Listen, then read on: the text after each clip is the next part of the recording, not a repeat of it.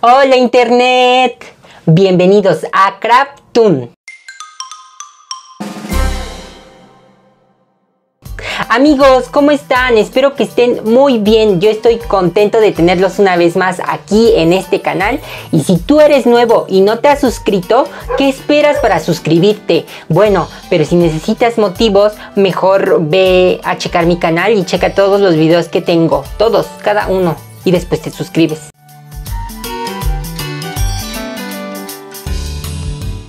Amigos, vamos a empezar con este bonito perrito que a lo mejor son dos, no sé, depende de si me siento con ánimos de hacer dos o solamente uno. Vamos a utilizar bolsas de plástico, también pueden ser envolturas de chetos o de galletas. Tal vez ustedes ven pura basura, pero yo veo un área de oportunidad muy desaprovechada. Utilizar todo ese plástico que desechamos para generar arte con nuestras propias manos. Lo primero que hay que hacer es cortar las bolsas en cachos y luego con ayuda de cinta adhesiva hacer unas bolas entre bolas y óvalos para formar la cabeza. No hay una fórmula para hacer esto amigos, todo es muy intuitivo.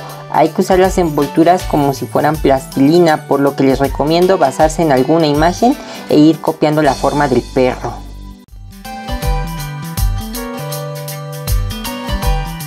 Para hacer el cuerpo puedes llenar una bolsa con envolturas y darle la forma del torso y luego pegarlo con cinta adhesiva a la cabeza.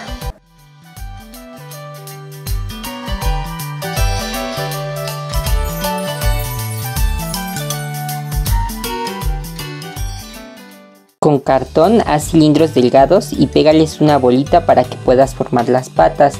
Yo lo voy a hacer sentado, entonces nada más voy a hacer esto del cilindro dos veces porque son las patas delanteras. Las patas de atrás las voy a hacer con bolitas y las voy a ir formando. Para hacer la cola hice un churrito que torcí y luego envolví en cinta masking para después con unas tijeras picar la parte trasera del perrito y hacer un hoyo y ahí clavar la cola. Cuando tengas lista la forma de tu perro, envuelve todo con cinta masking y cubre con cuatro capas de papel y engrudo. Después deberás decorar tu perrito como quieras.